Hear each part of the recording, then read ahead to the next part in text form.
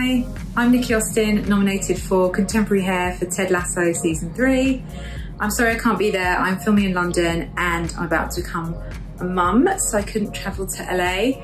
But I'm really honoured to be nominated and really excited for everyone else that is. You will thoroughly deserve it and have the best time tonight celebrating.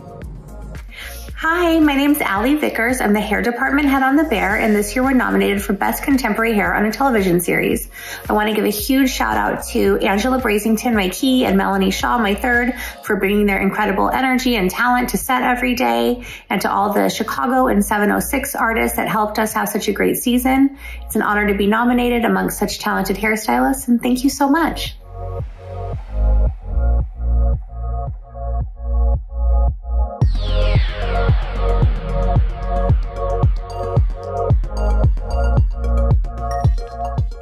I'm Tinisha Meeks. this is Alyson Black-Barrie, Traci Mackey, and Stenise Anderson. We are nominated for Best Contemporary Hairstyling for a movie, You People. Hi, my name is Kya Bilal. I'm with KaMaura Eley, Gloria Conrad. We are nominated for Best Contemporary Hair for The Idol.